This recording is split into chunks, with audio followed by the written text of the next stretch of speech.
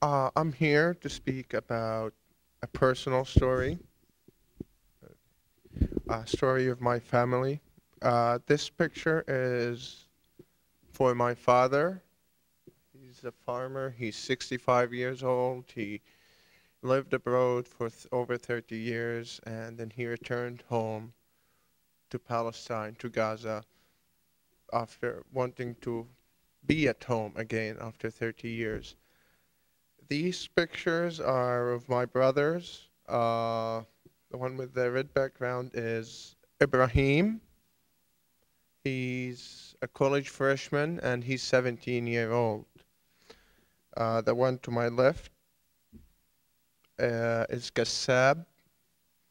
He's 28 year old uh, architect. They're both two young, vibrant people full of life, dreams, and aspirations. On January the 16th of this year, during the Israeli invasion of Gaza, uh, my father and my two brothers were spending the night in our farm. It's in the outskirts of Khan Yunis. They spent Thursday night there and Friday. They woke up in the morning. They did some of the farm chores. They had their breakfast, their coffee, and then they were planning to head back home.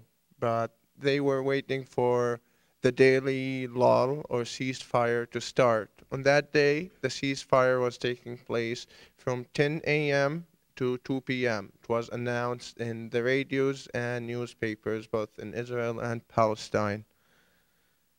Around 12:45 afternoon, they got in the car and started driving.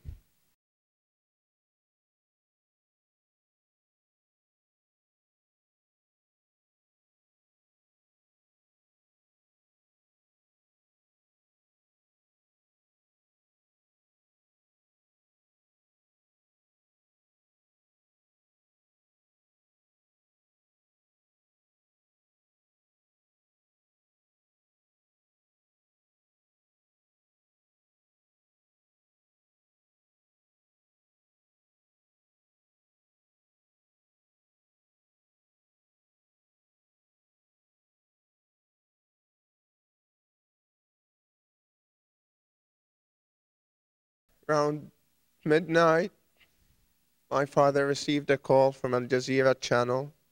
Another call, they asked him, You are on air, tell us what happened, where are you? He told them, We're driving home, you were shot. One of my sons died, and the other is still bleeding, and I'm still bleeding. We need an ambulance right away.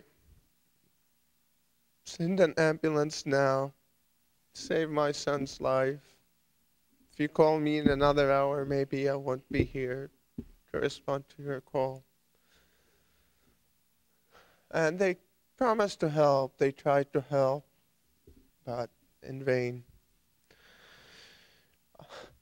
After he finished the call, around 12:30, after midnight, now Saturday morning, he noticed that Ibrahim was quiet.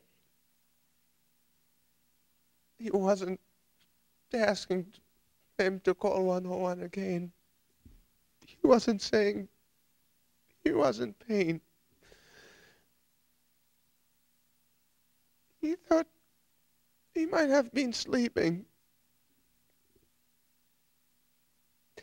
He called on him, Rahim, Rahim, son.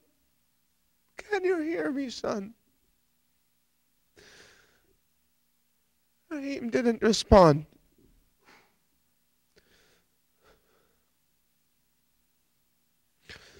He checked his forehead. It was still warm.